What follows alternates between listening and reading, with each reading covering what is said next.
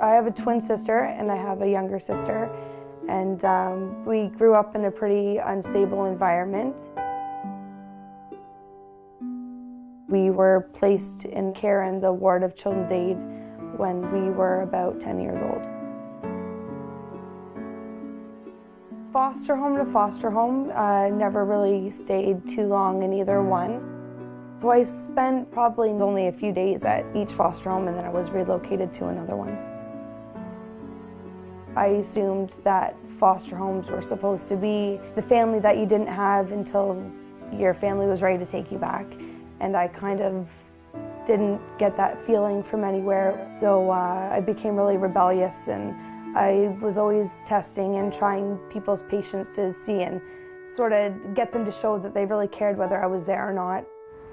I met Amanda a few years ago um, when she had come to 360 Kids. She went away, she wasn't ready to receive the support.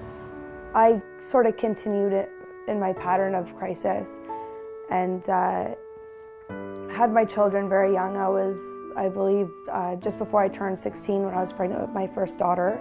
And then shortly after I had her, I became pregnant with my second.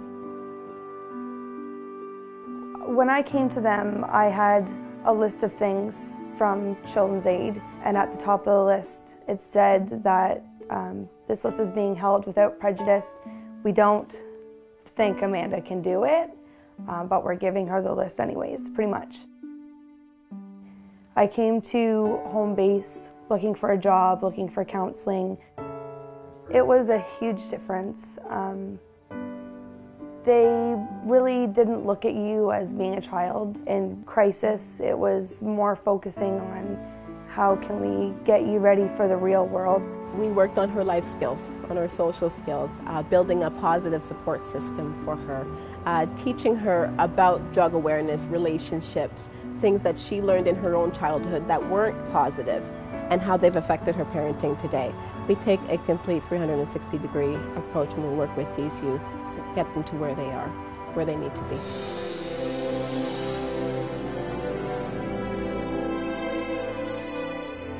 It's hard to identify who is homeless and who is not because it, it has all types of looks and, and faces to it.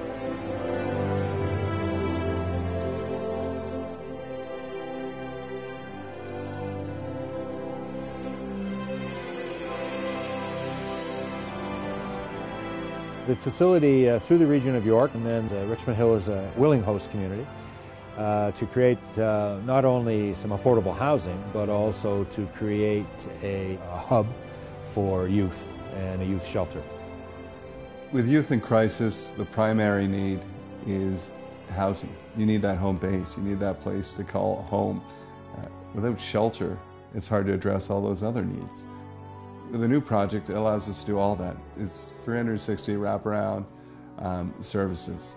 So not only are we, we giving them a place to sleep, but you're also addressing all the other issues around why they might have become homeless. 360 Kids has existed for over 20 years. I've, I became aware of them about eight years ago when I was looking for an organization to help some kids that I had bumped into who needed help, who were out on the streets. And uh, I quickly understood the amazing ability of the staff of 360 Kids. This is like a high quality group of people who know what they're doing, who have compassion for young people, and really are committed to helping young people move forward in their lives.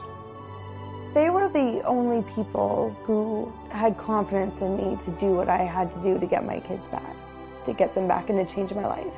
And uh, no one else had that confidence in me. And what I really like is in moving forward with their approach.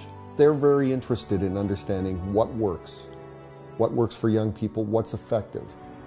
The supports and services that we provide are things like housing, employment, um, counseling, recreation, food, clothing, uh, life skills. I mean, many of the youth that we come that we see coming here have a multitude of issues, not just one. It's not about you know doing homelessness as usual.